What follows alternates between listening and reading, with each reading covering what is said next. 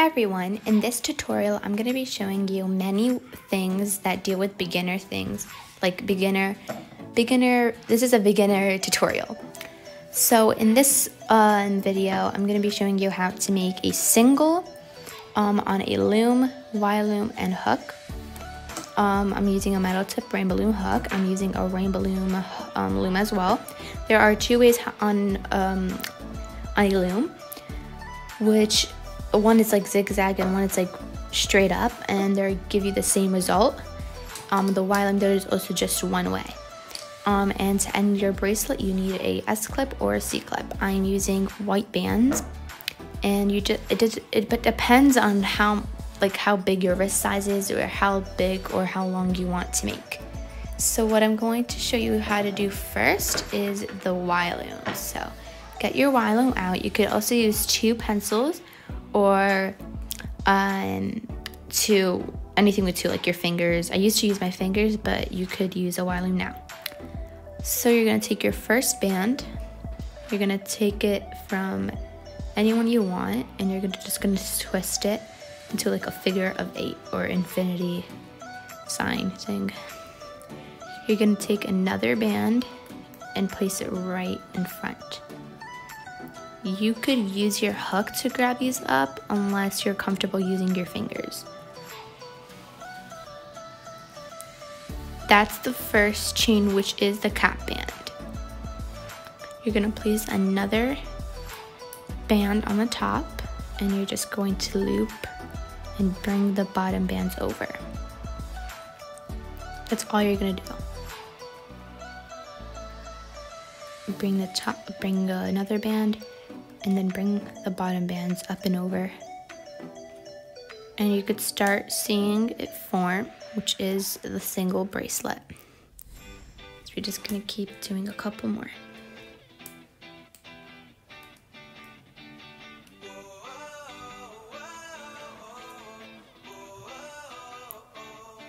I'm gonna show you more clearly. So I just slid it down, I just slide it down a little more.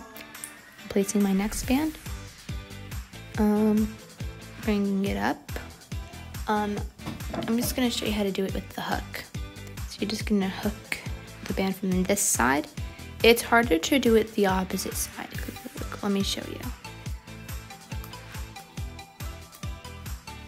you flip it like that, it's kind of more tricky to hook up and find the band like that. Like this. It's kind of more difficult than just using the side that you could hook from it. So after that, you can adjust, you could just like bring one end to the other. You could either slip knot it or unslip knot it like that and just clip it with an S clip like so and take it off and there you have a single chain but from the Y loom. There are also more ways so let's move down to the hook one because yeah. So we're gonna take our first band, We're gonna just place it like so as a figure of eight as well. But this is just how it looks like this. Eh? It looks the same thing. And then you're gonna take your, okay, you're gonna take your next band and you're to use your fingers to slide it through. So it's like going through the cap band to hook it up.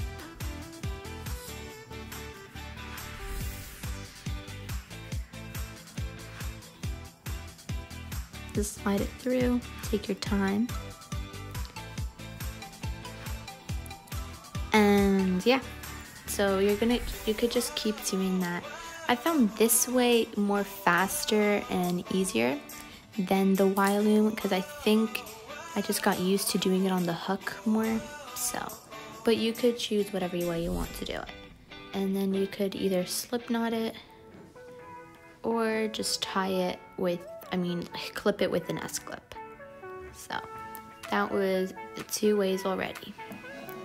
Let's move on to the loom and there's actually three ways to do it but the the other way I'm gonna show you the first one right now is similar to the Y loom so it's you're gonna imagine these two like as a Y loom or two pegs you know and just gonna twist it like that like and you're gonna act like it's a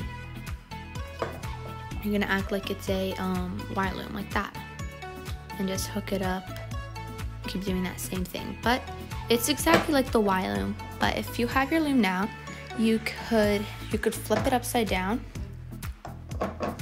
and you're going to start with any row you want. I'm just gonna do it with this side. And you're gonna just bring them up. Depends on how long you want it to do. Let's do it this long. And on the last one you're gonna place is a cap band. So every bracelet needs a cap band. You're gonna flip it and you're gonna push the cap band away. You could bring it to the next peg like that. I'm gonna try to show you from the side. So you're gonna go into the first one right here and you're gonna go grab that only band pull it and see where it's bringing it to you. It's gonna bring you right ahead. And you're gonna make like another teardrop. You're gonna go in there again and you should find one and bring it up. Go in there, only find one band and just keep leading you in a um, upward direction. And then once you reach here, you could start like pulling up the bands, and hold the top one to make it not fall off, like so. If that ever happens, like if it, a band's just messed up like that, you can just tie it up as that kit and just fix it up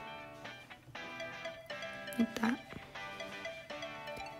And this one, you just fix it around wherever you want. The next way I want to show you is similar to the other one. This is the last way you're gonna um, see. So you're gonna place it up like that into any direction you want. So you could bring it to the middle, to this side, or the middle to this side, or whatever one you want. Then you're going to just go in a zigzag, like that. So you kind of make like an M or a W. I'm just gonna do that. This one is for if you have like a longer, a bigger wrist. You could do that one on the loom. But don't forget to add your cap band or else it's just gonna look like a, it's not gonna mess it up very badly. It's just not gonna look right. If you want, if you have difficulty doing it like that, you could just do it on your hook. Put it on there and you're just gonna hook it up the same way. You're gonna go under the cap band, bring it where it's going. Under the cap band, put it on there. And you're just gonna hook it up the same way. You're gonna go under the cap band, bring it where it's going. Under the cap band, bring it to where it's bringing to you keep going.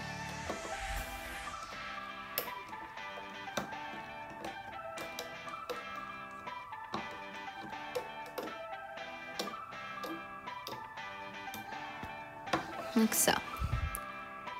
This is the last way I was going to show you. You had other three ways and it resulted in the same single form.